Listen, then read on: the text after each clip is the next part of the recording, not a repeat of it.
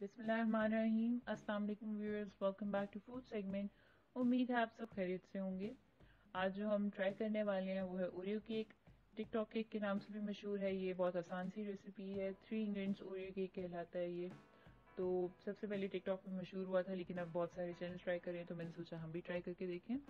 तो सबसे पहले आपने ओरियो कुकीज़ ले लेने हैं, और इनको मैं यहाँ पे सेपरेट कर रही हूँ फिलिंग अलग कर रही हूँ, और कुकीज़ जो है, उनको मैं एक बॉल में अलग सेपरेट से निकाल रही हूँ। अगर आप चाहें तो इसके अंदर ये फिलिंग हाफ़ जो है वो यूज़ कर सकते हैं।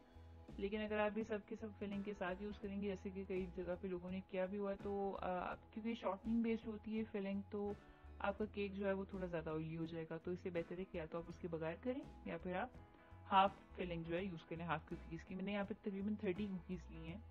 तो थर्टी को जो मैंने हाफ़ हाफ़ खोला तो सिक्सटी के करीब बन जाते हैं सिंपल तो इनके अंदर नेक्स्ट मैंने डालना है, एक कप दूध था मेरे पास तो उसमें से मैंने हाफ़ कप पहले डाला है और कंसिस्टेंसी को कंट्रोल करने के लिए मैं इसको थोड़ा थोड़ा करके ही दूध ऐड करूँगी। लेकिन इसमें एक कप से ज़्यादा दूध नहीं जाएगा। तो हाफ़ कप के साथ मैंने इसको डाल के अच्छे से मैश कर लिया है। बेसिकली हमें एक बिल्कुल स्मूथ सा पेस्ट चाहिए, जैसे आपके पास केक का बैटर होता है। तो मैंने इसको तब तक अच्छे से वॉल्स के साथ बॉल की वॉल्स के साथ भी मैंने अच्छी तरह प्रेस किया ताकि मेरी जितने भी कुकीज़ हैं, वो सबके सब स्मूथ हो जाएँ, कहीं क्रम्बल रहना चाहिए मेरे पास। तो यहाँ पे थोड़ी कंसिस्टेंसी थी तो मैंने और थोड़ा सा दूध डाला है इसके अंदर। और आप देख रहे हैं दूध डालते ही थोड़ा और लश्रियस हो गया, थोड़ा और शाइनी और स्मूथ हो गया। इसकी कंसिस्टेंसी मैंने आपको बताया, बिल्कुल केक का जो एक बैटर होता है थोड़ा सा रनी सा बैटर होता है, बिल्कुल उस टाइप की चाहिए कंसिस्टेंसी तो यहाँ पे मैंने और डाला। जितना आप दूध डालते जाएँगे, उसको मिक्स करते जाएँगे तो ये जो कुकीज़ हैं, वो दूध को सोक करते जाते हैं और बैटर जो है, उसकी कंसिस्टेंसी बिल्ड होती जाती है। तो यहाँ पर आप देख रहे हैं कि ये तकरीबन केक के तरह नज़र भी आ रहा है इसमें, देखने में केक बैटर की तरह।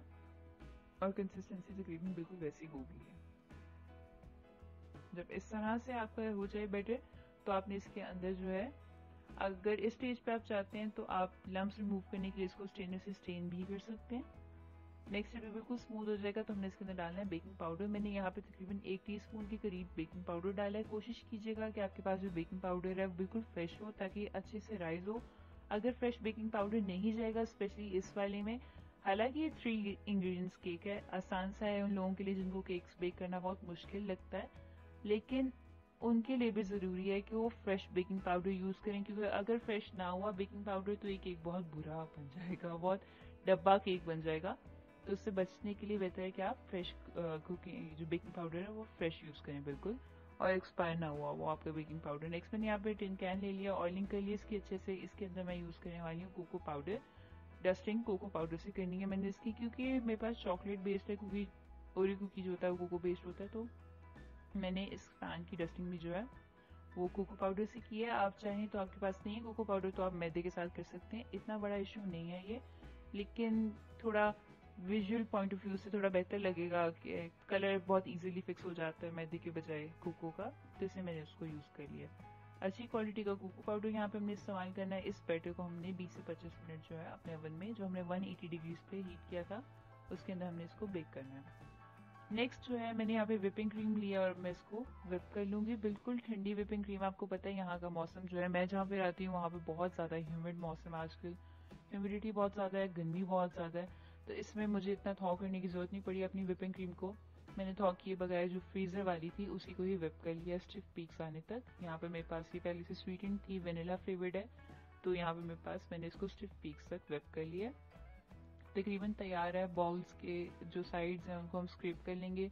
यहाँ पे मैं आपको दिखा रही हूँ कि स्टिफ पीक्स जो है, उनको आपने चेक कैसे करना है। दरमान में स्पेचुला मार के जब आप इसको खड़ा करते हैं तो पीक जो है, वो अपनी फॉर्म मेंटेन करती है। केक यहाँ पर मैंने बेक कर लिया, ठंडा करके इसके स्लाइसेस कर लिए। हैं दरमियाना राइज हुआ मेरा एक केक क्योंकि ये डेफिनेटली इसमें अंडे नहीं गए हैं तो इसलिए बहुत ज़्यादा राइज नहीं हुआ।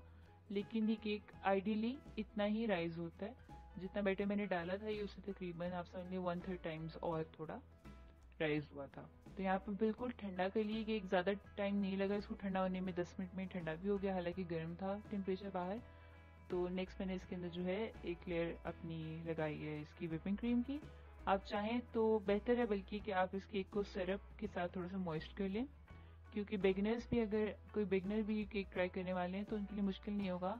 सिरप लेकर आप उसको ब्रश के साथ कोट कर लेंगे केक की लेयर्स को तो वो बिल्कुल मॉइस्ट हो जाएगा।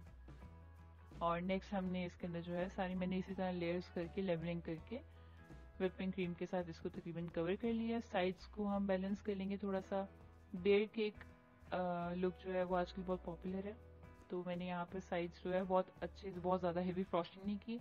लेयर्स नज़र आ रही हैं। बेयर केक यही होता है कि आपकी हल्की हल्की सी क्रीम भी हो और लेयर साइड पे नज़र भी आ रही हो। तो ये तकरीबन उसी तरह से मैंने तैयार करके टॉप के लिए मैंने कुछ ज़्यादा मुश्किल नहीं किया। है ईजी बिगनर्स के लिए जो ड्रेसिंग हो सकती है। केक की वो सिखाई है तो विपिंग क्रीम के साथ आप सिंपल से अपने स्पेचुला पर लेकर डोलप्स थोड़े थोड़े से एक टीस्पून के करीब तो आप उसको हल्का हल्का से इसके ऊपर स्विफ्ट कर सकते हैं। केक के ऊपर नेक्स्ट फाइनली मैंने इसके ऊपर जो है कोको पाउडर लिया हुआ और इसको मैंने इसके ऊपर डस्ट कर दिया ऊपर से देखने में ये इतना आइडियल नहीं, लेकिन साइड से आप देखेंगे कि पीक्स जो हमने इसके ऊपर थोड़ी सी स्लांट की थी, वो बहुत अच्छी आ रही हैं और कोको पाउडर के साथ थोड़ा ड्रिजली इफ़ेक्ट आ रहा है। तो यहाँ पे एक तकरीबन तैयार है। आई होप बिगिनर्स के लिए बहुत ईजी होगा ये केक ट्राई करना। घर पे आप ट्राई कर सकते हैं। घर वालों को पसंद आएगा। क्विक केक है, जल्दी बन जाता है, ज़्यादा टाइम नहीं लगता है। इसमें बहुत ज़्यादा मेहनत भी नहीं है और लंबी चौड़ी बेकिंग साइंस भी नहीं है। तो ट्राई कीजिएगा मुझे बताइएगा आपको कैसा लगा। मैं रिकमेंड करूँगी कि अगर आप चाहें तो उसके अंदर एक से दो टेबल स्पून के करीब बटर यूज़ कर सकते हैं, क्योंकि वो ज़्यादा आइडियल होगा। क्योंकि मैंने भी पहली बार ये रेसिपी ट्राई की थी तो मुझे थोड़ा ड्राई लगा था। लेकिन अगर आप चाहें तो थोड़ा सा मक्खन ऐड करके सॉफ्ट हो जाएगा। तो आई रिकमेंड कि वो ज़रूर ट्राई कीजिएगा और सिरप ज़रूर कीजिएगा। मैंने अपने केक को सिरप नहीं किया तो थोड़ा ड्राई एंड पे रहा था। आप सिरप कीजिएगा। तो यहाँ पे तैयार है और देखने में अच्छा लग रहा है। इजी सी ड्रेसिंग है। वीडियो ज़रूर ट्राई कीजिएगा लाइक कीजिएगा, पसंद आए तो कमेंट बॉक्स में बताइएगा। फ्रेंड्स के साथ रेसिपी शेयर करें, हमारे चैनल को सब्सक्राइब करें। Thank you so much